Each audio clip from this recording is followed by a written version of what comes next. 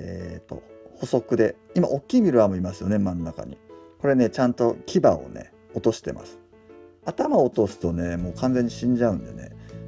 頭からねニョキッと2本の黒い牙が出るんですよ。それがあると大きいミルワームは「おお食べた食べた食べた割と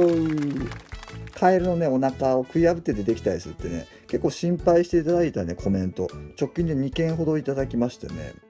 僕もミルワームはね使い始めたらこの2月から、えー、だから34ヶ月かなまだ。正しい使い方っていうのは、まあ、ベテランの飼育者様たちからねいろいろ教えてもらってねある程度はね把握してるんですけどとにかくまあ歯が強いよ噛む力が強いからってことで基本的にはあの、ね、頭を落としてあげたりするんですけど動画で流す時はですね過去にあったんですけどね昆虫愛好家の方から「あ今欲しかったな」例えば大きく育ちすぎたコオロギは僕足をね落としてあげてたんですけど投げてたんですけどなんか残酷ではないでしょうかとかっていう意見もあったんで自然状態であげるのがいいのかな。とはやっぱりねあまりにも危険だって僕が判断したコオロギやミルワーム大きいものは実は加工させていただいてますという表現で食べやすいように加工していただいておりますって言った時は大抵頭を落としてたり顎をね落としてたり。おお食べた食べた食べた今茶が食べたこの大きいのをねあの黒い際の部分だけうまいこと落としたのでずっと動いてくれてました。なのでミルワームを食べさせる時にこのまま揚げてると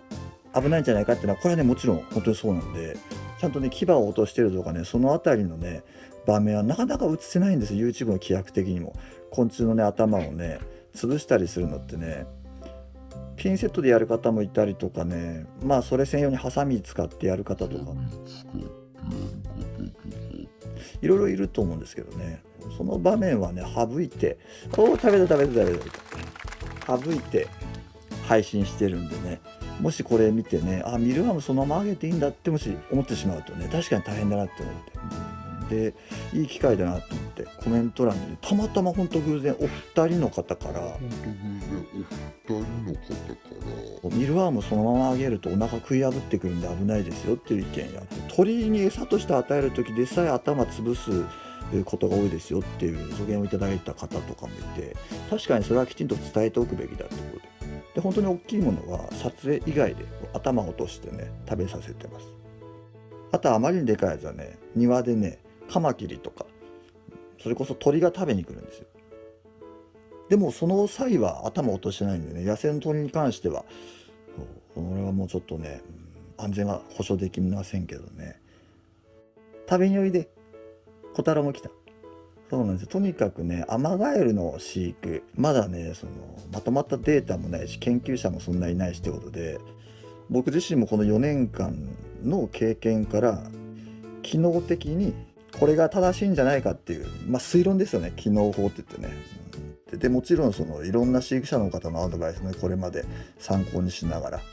うん、餌やりもそうだし病気にならないようにどうするかとかね。